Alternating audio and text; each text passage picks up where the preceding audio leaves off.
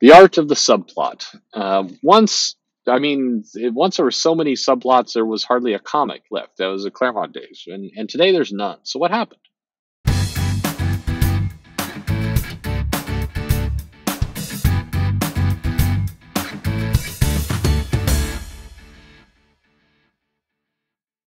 Hey there, this is Perch, uh, talking about subplots. And if you look back at the, you know, I always mention Claremont, Claremont run, but you know, DC was kind of uh, notorious for this. Some Marv Wolfman uh, stories, and I'm trying to think of others. That uh, Geoff Johns used to do this pretty effectively. I don't know. There's there's a number of writers. Uh, Bendis would sort of do this, uh, but he even he has kind of moved away from it.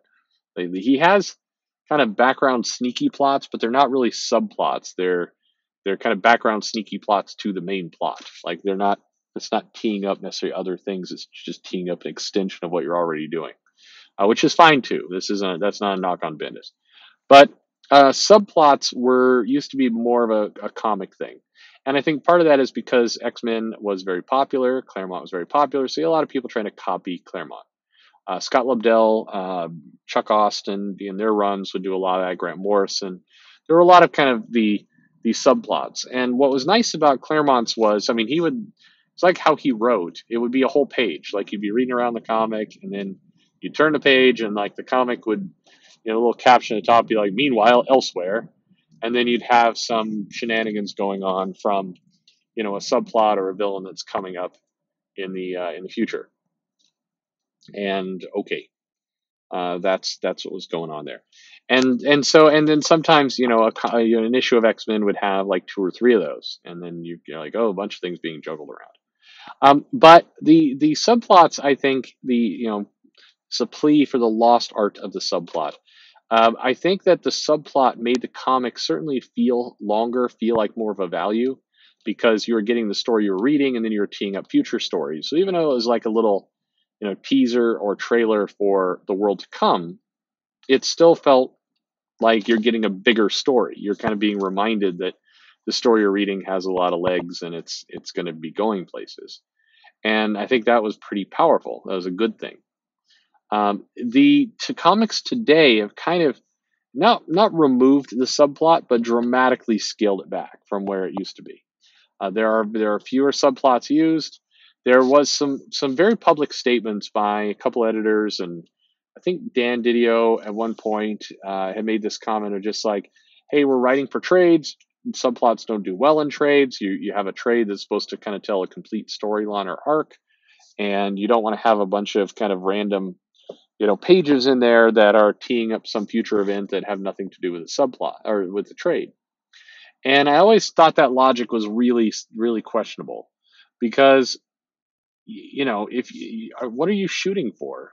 If you sell a trade to a customer, you're hoping you're selling another trade down the road, right? It's not like you're selling one trade and then, you know, that's it.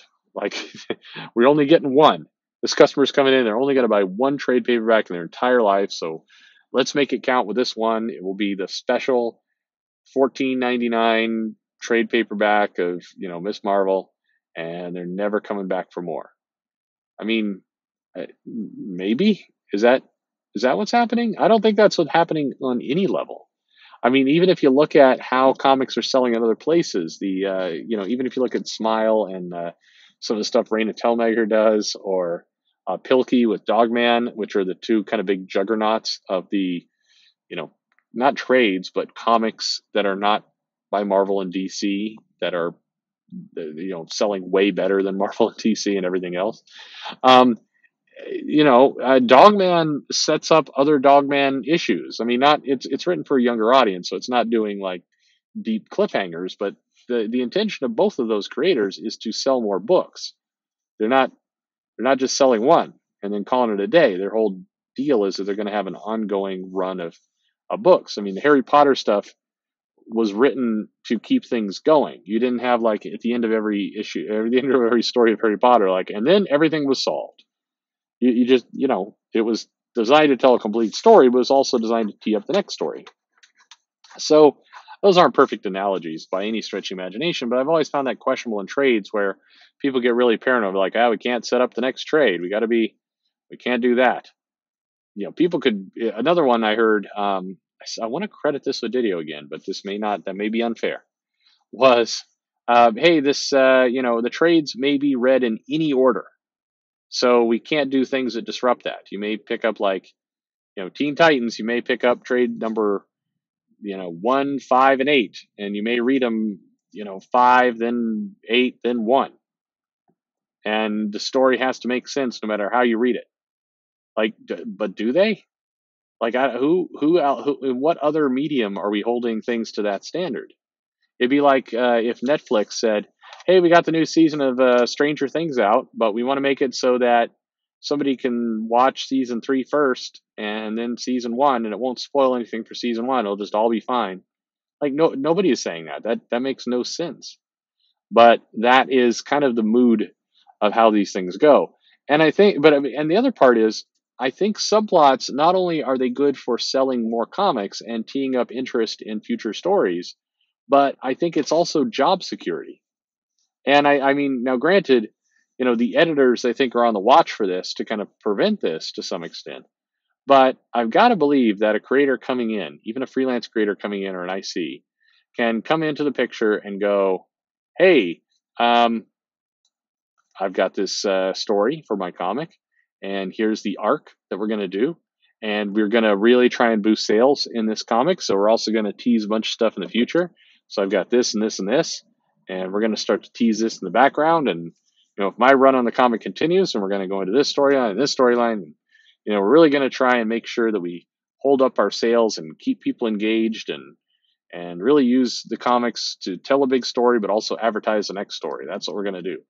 And I've got to believe, although you know, even as I'm saying this, I realize it's not the case, that only a a super dumb editor would be like, nope, I those are all great ideas, but we're just gonna tell a nice standalone arc for six issues, and if readers buy it, great, and if they don't buy it, then who cares about that too? And you know, I'm I'm I'm trying to get. I, uh, do you want to go get some coffee? Let's get some coffee because that's the most important. My day is getting some coffee.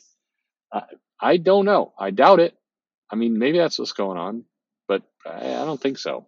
So if you're an up and coming writer and you've just landed your gig at one of the big publishers, try adding more subplots in. Try adding more kind of depth into your story. Look, one of two things will happen. Either the readers will appreciate it, sales will go up, and you've got yourself some nice locked in job security because you've introduced plots that only exist in your head.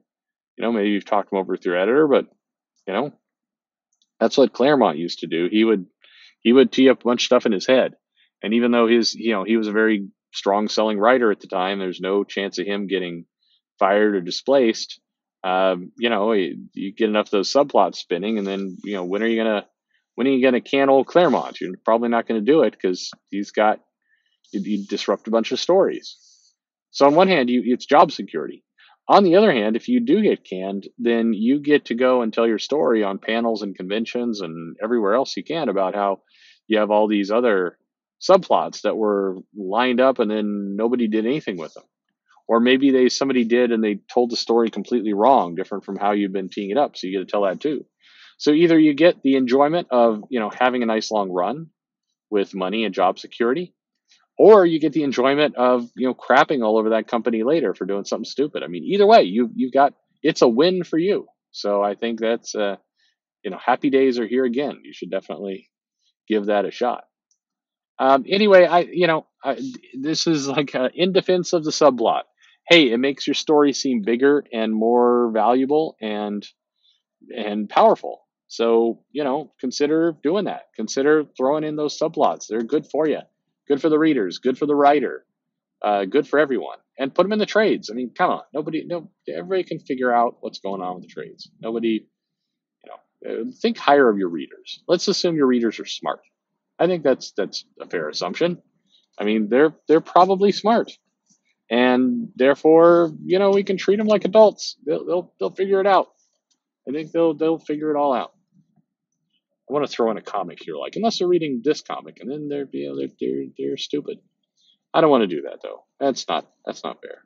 That's not not fair at all to lots of good comics out there that that are. Anyway, uh, what do you think? Hey, leave me a comment, like, subscribe, hit the bell for notification. Uh, what do you think about the subplot? What's your favorite subplot of all time? Uh, to me, I think the uh, the very long running. I think there are two. Uh, you know that they did in X Men both that I thought were really solid. Uh, one was kind of how Mister Sinister was ultimately unveiled to the to comics. I thought that was a long kind of running subplot of this guy in the shadows. I thought that was pretty cool. Um, the other is uh, same same thing with the X Men. I think a lot of what they did with Maddie Pryor, kind of right after, and it was tied into Sinister as well. But uh, what they did with her prior to Inferno of the slow corruption, uh, the abandonment by Cyclops, how the baby kind of vanished out of the picture, and then her descent into evil.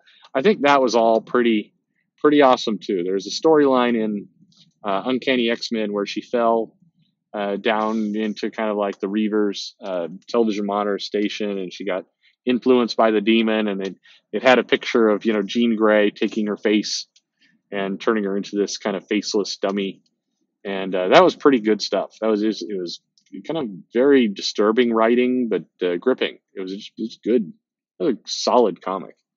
Um, that that stuff was nice. I miss those days. Um, plus, it was like it um, it, it kind of crapped all over Jean in the process. It's funny. Uh, Jean didn't come off looking good in that thing. She looked like kind of a big kind of home wrecker harpy. Uh, that was a, a fun, fun kind of crazy stuff they were doing with Jean at the time. It was it was made the villain sympathetic. It's you can't ask for more than that. Uh, depth is good. Anyway, let me know your favorite storylines, your favorite subplots. We'd love to hear from you. Follow me on Twitter at Comic Perch, and thanks for listening.